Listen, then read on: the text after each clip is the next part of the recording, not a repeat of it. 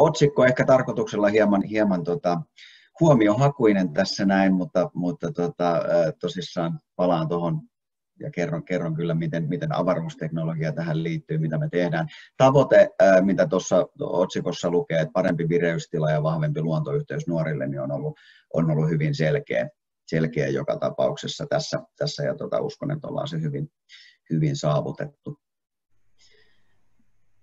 Ähm, Naava on suomalainen yritys, terveysteknologiayritys, näin, näin itse, itse, itse me nähdään, ja, ja Jyväskylässä perustettu 2011 nimellä Fresh Effect ihan alun perin, mutta tätä nykyään Naava. Ja meitä on 60 työntekijää tänä päivänä ja, ja myyntiä tehdään 12 eri maahan, Suomessa ja Ruotsissa ja näiden lisäksi Jenkit. Ja Etelä-Korea on meidän isoimmat markkinat tällä hetkellä, mihin, mihin naavaa, naavaa myydään.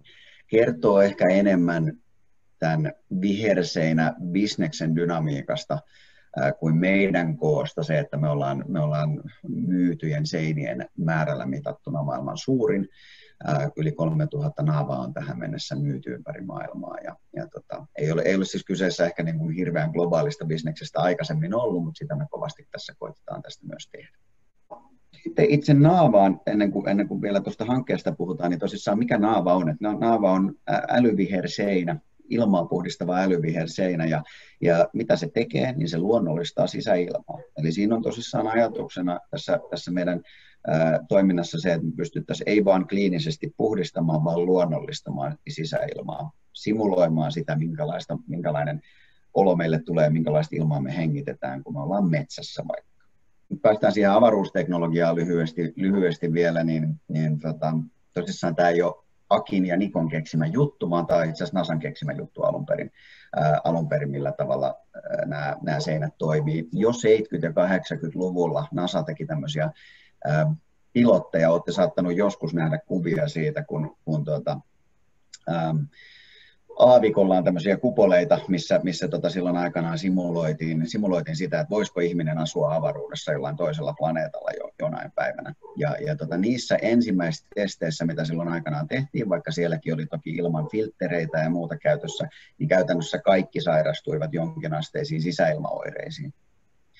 Ja, ja silloin he rupesivat sitä selvittämään, että miten näistä päästä eroon, että miten saadaan luonnollistettua ilmaa, koska selkeästi, selkeästi pelkästään se ilman puhdistaminen ei riittänyt. Ja, ja, ja silloin, silloin sitten NASA keksi tämän, että, että ilman, kier, ilmaa kierrättämällä kasvien juurien kautta niin pystytään tehokkaasti puhdistamaan ilmaa. Sen takia avaruusteknologia tässä, on, tässä on kyseessä. Niin kuin sanottu, niin Naava, Naavan kanssa äh, me ollaan tehty monissa kouluissa ja päiväkodeissa jo tätä ennen, ennen tota, äh, tuotu naavoja näihin tiloihin ihan silloin alusta alkaen, äh, alusta alkaen. Ja, ja tota, ne on ollut todella, todella semmoisia niin kuin meille tärkeitä projekteja luonnollisesti, luonnollisesti aikaisemminkin. Tänä päivänä tehdään tosi paljon yritysten kanssa töitä, mutta julkiset tilat ja varsinkin sitten koulut ja päiväkodit, niin, niin tota, niissä pystytään sitten sekä, sekä tietysti lapsia että, että opettajia auttamaan, niin, niin, niin on ollut hyvin mielenkiintoisia.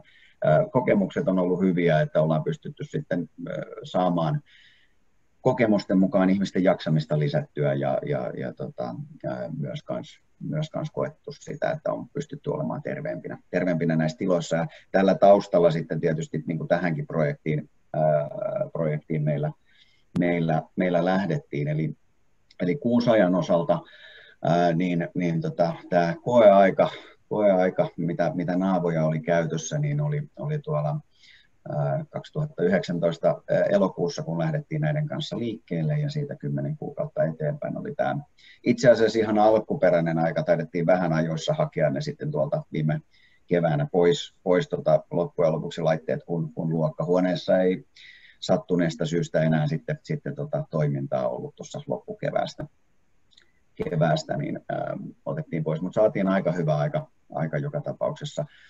Ää, naavat pilottiin mukaan. Ja, ja meillä oli siis kaksi tämmöistä meidän, meidän tota metrin leveätä ja kaksi, 2 metriä 10 senttiä korkeata seinää, seinää tota kahdessa eri tilassa, tuolla Vuoraksen koululla Living Labissa ja, ja sitten Hepolammin kadulla ensin kehittämössä L1050 ja siitä sitten siirrettiin toiseen tilaan kanssa, että pystyttiin pitämään nämä, nämä ovat sellaisissa tiloissa, missä käyttäjiä on.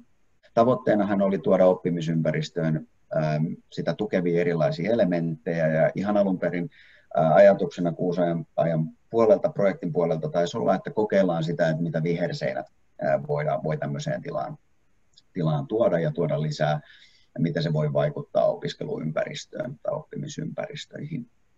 Alkuvaiheessa mielikuvitus heräsi hyvin paljon, kun ruvettiin ideoimaan sitten projektin puolelta sitä, että mitä kaikkea näillä, näillä tota, voitaisiin siinä tilassa tämän, tämän koeajan aikana testata ja, ja tota, muutamia semmoisia olennaisia ja, ja niin kuin päälinjoja voisi sanoa, niin, niin mihin haluttiin käyttää sitten, sitten tota aikaa, niin oli se, että miten, miten tota naavan sensoreiden data saataisiin näkyviin ja mitä niillä voitaisiin tehdä. Eli tämä naavan kasvuympäristö on hyvin tarkasti valvottu, eli kasvit, jotka tuossa seinässä on, niin ne, ne tosissaan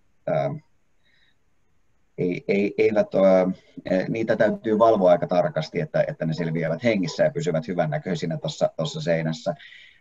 Meillä on sen takia siellä useampi sensori, josta me kerätään tietoa koko ajan, ja ne lähettää tietoa meille pilveen, ja, ja sitten naavan valot, ja kastelusykli ja, ja tämä tuulettimien, tuulettimien voimakkuudella reagoidaan siihen, siihen että, että tota, kasvuympäristö näille kasveille on koko ajan mahdollisimman hyvä. Eli me kerätään koko ajan tietoa lämpötilasta ja ilmankosteudessa muun muassa. Ja, ja tota, tämä oli semmoinen, mikä sitten tuli tuossa alkuvaiheessa ajatuksena, että näiden tietojen ähm, saaminen käyttöön datanomiopiskelijoille, niin, niin voisi olla mielenkiintoista, ja sen takia me sitten, sitten tota, lähdettiin sitä katsomaan. Ähm, luonnollisesti me käytetään tässä kasveja biologian, äh, biologian oppituntia ja muiden kannalta, niin, niin, niin tota, puhuttiin siitä, että kasvit, mitä siinä käytetään, niin halutaan toki tutuiksi sitä kautta saada opiskelijat ja oppilaat, oppilaat tota, niihin tutustumaan. Ähm, kehitysideoita sekä siihen, että millä tavalla naavoja voi käyttää kouluissa ja miten, miten tota, me voitaisiin kehittää meidän tekemistä, niin, niin tota, niitä haluttiin ideoida.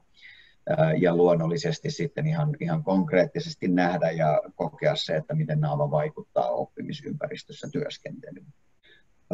Yleisesti todettiin, että voidaan, voidaan vetää yhteen tuota, tuota palautetta sitten, kun kysyttiin, että onko se vaikuttanut luokan ulkonäköön ja ilmanlaatuun ja viihtyvyyteen, niin, niin tota selkeästi valtaosa, valtaosa tykkäsi, että näillä on ollut vaikutusta, vaikutusta niihin. Siinä mielessä, siinä mielessä onnistunut, onnistunut ää, kokeilu. Ja, ja tota, näin, näin niin kuin, ää, laajasti vielä vielä, jos vetää, vetää vähän yhteen sitä, että mitä nämä tosissaan tekee, minkä takia ehkä yhden asian, minkä mä haluan tällä hetkellä tänä päivänä nostaa vielä erityisesti esille, on se, että, että tosissaan näillä ilman puhdistamisella ja varsinkin tuolla ilman kosteuden nostamisella, kun pystytään pitämään limakalvot ja iho terveempänä ja sitä kautta pitämään yllä vastustuskykyä, niin se on ehkä semmoinen, semmoinen yksi tärkeimmistä asioista, samoin kuin vähentää yskimistä ja aivastelua ja me kaikki kaikki tietysti voidaan, voidaan kuvitella ja ajatella, mikä hyöty siitä, siitä tänä päivänä oppimis- tai työympäristöissä on.